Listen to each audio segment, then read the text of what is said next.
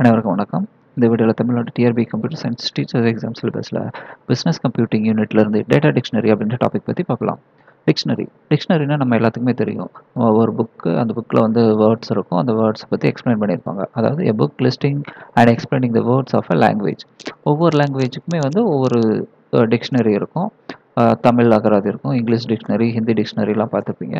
அதில் வந்து ஒரு குறிப்பிட்ட வேர்ட் அந்த வேர்ட் பற்றி எளிமையாக புரிஞ்சுக்கிற மாதிரி ஒரு நல்ல டீட்டெயில்டாக எக்ஸ்பிளைன் பண்ணியிருப்பாங்க இதுதான் வந்து டிக்ஷனரி அதை இது வந்து லாங்குவேஜ் டிக் டிக்ஷனரி அப்படின்னு சொல்லுவோம். ஓகே இப்போ டேட்டா டிக்ஷனரி டே எப்படி டிக்ஷனரின்றது ஒரு சிம்பிள் ஒரு சிங்கிள் வேர்டை பற்றி எக்ஸ்பிளைன் பண்ணுறோம் அதே மாதிரி டேட்டா டிக்ஷனரி அப்படின்றது வந்து டேட்டாவை பற்றின எக்ஸ்பிளைன் பண்ணுறது தான் வந்து டேட்டா டிக்ஷனரி இதை டெக்னிக்கல் டேர்ம்ஸில் சொல்லுவோம் அப்படின்னா meta data of data base நம்ம டேட்டானா டேட்டாலாம் எங்கே இருக்கும்னா டேட்டா பேஸில் இருக்கும். இப்போ டேட்டா பேஸில் இருக்கிற மெட்டா டேட்டா ஆஃப் டேட்டா பேஸ்னா டேட்டா அபவுட் டேட்டா அப்படின்னு சொல்லுவோம்.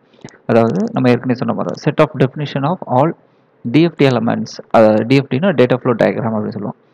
நம்ம இது இதுக்கு முந்தின வீடியோவில் இஆர்டி பற்றி பார்த்துருந்தோம். நீங்கள் இந்த டிஎஃப்டி அண்ட் இஆர்டி வந்து கொஞ்சம் நீங்கள் ரிலேட் பண்ணிக்கலாம். ஒரு டிஃப்ரென்ஸில் ரொம்ப பெருசாக இருக்க போகிறதுல நீங்கள் ஈஸியாக ரிலேட் பண்ணிக்கலாம். அதில் நம்ம இயர்டியில் என்ன பார்த்தோம்? என்டிட்டி பார்த்தோம். அப்புறம் ஆட்ரிபியூட்ஸ் கீஸ் பார்த்தோம். அப்புறம் ரிலேஷன்ஷிப் பார்த்தோம். இதுதான் இதே மாதிரி தான் டிஎஃப்டியும் இருக்க போகுது.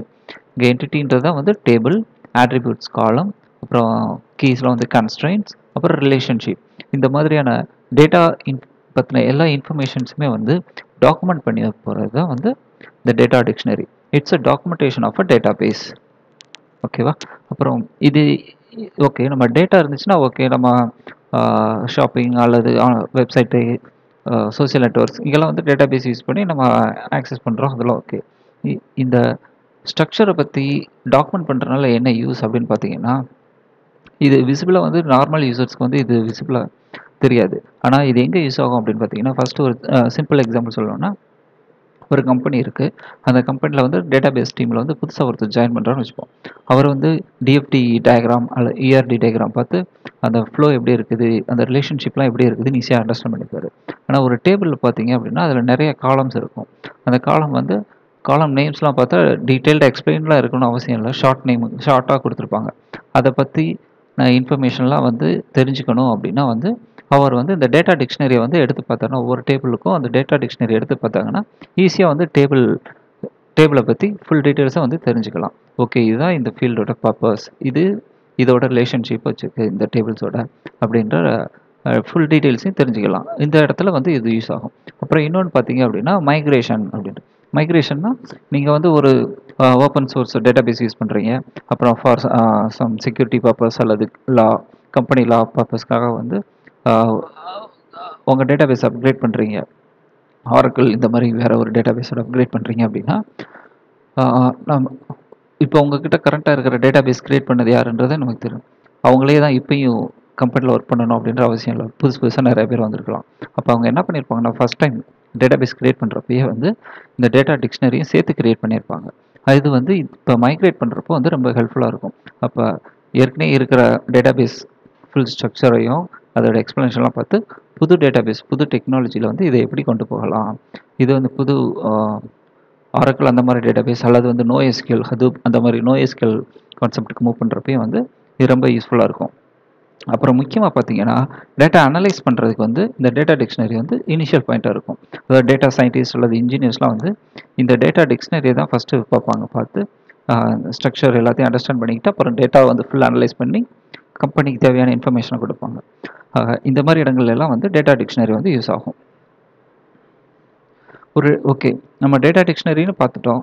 அந்த டேட்டா டிக்ஷனரியில் வந்து எக்ஸ்பிளைன் பண்ணோம் அப்படின்னு சொல்லியிருக்கோம். என்னென்ன மாதிரியான எக்ஸ்ப்ளனேஷன்லாம் இது சொல்லும் அப்படின்னு பார்த்தீங்கன்னா இங்கே வந்து நான் சில சில சாம்பிள் எக்ஸ்பிளைன் ஃபீல்ட்ஸ் எல்லாம் கொடுத்துருக்கேன். இது மட்டும் இல்லாமல் இன்னும் நிறையாவே வந்து டெக்னிக்கலாக எக்ஸ்பிளைன் பண்ணுறதுனாலும் பண்ணலாம். நான் வந்து சாம்பிள்ஸ்க்கு அண்டர்ஸ்டாண்ட் பண்ணுறக்காண்டி கொடுத்துருக்கேன். ஃபஸ்ட் பார்த்தீங்கன்னா ஃபீல்டு நேம் அப்புறம் data type data format field size description validations அப்புறம் எக்ஸாம்பிள் வேல்யூஸ் இதெல்லாம் வந்து நாங்கள் கொடுத்துருக்கேன். இது மட்டும் இல்லாமல் இதோட சேர்த்து என்ன கன்ஸ்ட்ரைன்ஸ் இருக்குது ரிலேஷன்ஷிப் இருக்குது இதை இதையும் கூட வந்து டேட்டா டிக்ஷனரி வந்து டீட்டெயில்டாக எக்ஸ்பிளைன் பண்ணோம். இதுக்கு எக்ஸாம்பிள் ஒன்று பார்த்தோம் அப்படின்னா இப்போ நான் இங்கே வந்து ஒரு புக் அப்படின்னு சொல்லி ஒரு என்டிட்டி கொடுத்துருக்கேன். அதாவது ஒரு டேபிள் இதில் வந்து ஐடின்னு ஒரு கீ ஒரு ஃபீல்டு அதுக்கு வந்து கீ ப்ரைமரி கீ ஒன்று அப்புறம் நேம் பப்ளிஷர் ஆத்தர் ப்ரைஸ் அப்படின்னு சில காலம்ஸ் இருக்குது. அப்புறம் பக்கத்துலேயே வந்து அதோட டைப்ஸை மென்ஷன் பண்ணியிருக்கேன். இது நீங்கள் ஏற்கனவே பார்த்து தான். நம்ம இயர் இயர்டி ட்ரா பண்ணப்போ இந்த ஃபார்மேட் பார்த்துருப்போம்.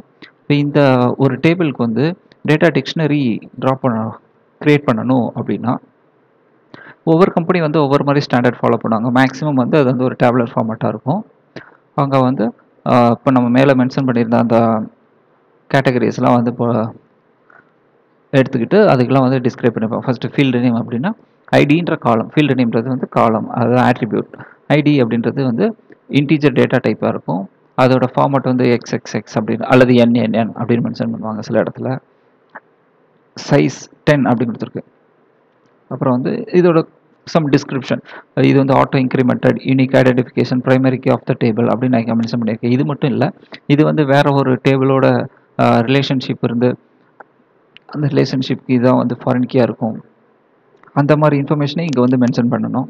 அப்புறம் அடுத்து வேலிடேஷன் இது என்ன மாதிரியான டேட்டா வந்து இதில் ஸ்டோர் ஸ்டோர் பண்ணணும்? அதுக்கு என்ன மாதிரியான வேலிடேஷன்லாம் நம்ம மெயின்டைன் பண்ணணும் அப்படின்ற இன்ஃபர்மேஷன் இருக்கும். அப்புறம் சில எக்ஸாம்பிள் இங்கே கொடுத்துருக்கேன். அதே மாதிரி நேம் பார்த்தீங்கன்னா டெக்ஸ்ட்டு சைஸு இதெல்லாம் கொடுத்துருக்கேன். இதை இன்னும் டீட்டெயிலாக சொல்லணும்னா நான் ஏற்கனவே சொன்ன மாதிரி இந்த கன்ஸ்டைன்ஸை பற்றி சொல்லலாம். இப்போ கீ என்ன மாதிரியான கீ அப்படின்றது அப்புறம் ரிலேஷன்ஷிப் பற்றி சொல்கிறது அப்புறம் சைஸ்லேயே பார்த்தீங்கன்னா கீழே போனோன்னா ஓகே இப்போ இங்கே பார்த்தீங்க அப்படின்னா டேட் அங்கே வந்து ப்ரைஸ் ரெண்டு இது கொடுத்துருக்கேன். டபுள் இது வந்து டேட் டபுள்ன்றது வந்து டேட்டா பேஸ் மெமரியில் வந்து எயிட் எயிட் எயிட் பைட்ஸ் எடுத்துப்போம் அப்படின்னு சொன்னாலும் ஆனால் இங்கே விசிபிளாக பார்த்தீங்கன்னா ஃபோர் ப்ளஸ் த்ரீ செவன் தான் இருக்குது அப்போ இதே வந்து இங்கே நம்ம ஒரு சில டிக்ஷனரியில் வந்து டீட்டெயிலாக எக்ஸ்பிளைன் பண்ணியிருப்பாங்க. மெமரியில் வந்து எயிட் பைட் எடுத்துக்கிட்டாலும் விசிபிளில் வந்து யூஸருக்கு வந்து செவன் கேரக்டர்ஸ் தான் காட்டுவோம். அப்போ யூஸருக்கு வந்து யூஸருக்கு ஆக்குபை பண்ணுற சைஸ் வந்து செவன் ஆனால் டேட்டா பேஸில் வந்து எயிட் எடுத்திருப்போம் அப்படின்னு சொல்லுவாங்க. இந்த மாதிரி நம்ம டேட்டா பேஸில் இருக்கிற ஒவ்வொரு டேபிளை பற்றியும் இன்ஃபர்மேஷன் டீட்டெயில்டாக எக்ஸ்பிளைன் பண்ணுறதா வந்து டேட்டா டிக்ஷனரி ஆரக்கிள் இந்த மாதிரி டூல்ஸ்லாம் பார்த்தீங்கன்னா அதுலேயே வந்து டேட்டா டிக்ஷனரி டேபிள்ஸ்னு சில கான்செப்ட்லாம் இருக்குது அங்கே வந்து நம்ம டேபிள் க்ரியேட் பண்ணுறப்பே வந்து நம்ம இந்த இன்ஃபர்மேஷன் கொடுத்தோம்னா ஆரக்கிள் வந்து தனியாகவே அதை வந்து ஸ்டோர் பண்ணி வச்சுக்கிறோம். அதை நம்ம தனியாக ரிட்ரீவ் பண்ணி எடுத்துக்கலாம். ஓகேவா இவ்வளோ தான் டேட்டா டிக்ஷனரி மற்றபடி இதில் பெருசாலாம் எதுவும் கிடையாது. It's mainly use for data analysis purpose ஓகேவா நம்ம அடுத்த வீடியோவில் வந்து இன்ட்ரெஸ்டிங் டாபிக் டேட்டா மைனிங் பற்றி பார்க்கலாம். உங்களுக்கு இந்த வீடியோ பிடிச்சிருந்தா லைக் பண்ணுங்கள் உங்கள் ஃப்ரெண்ட்ஸுக்கு ஷேர் பண்ணுங்கள் சப்ஸ்கிரைப் பண்ணிவிட்டு பெல் பட்டன் கிட்டிங்கன்னா நான் அடுத்த வீடியோ அப்லோட் பண்ணதுக்கப்புறம் அதை உங்களுக்கு தெரியப்படுத்திடும் நன்றி வணக்கம்.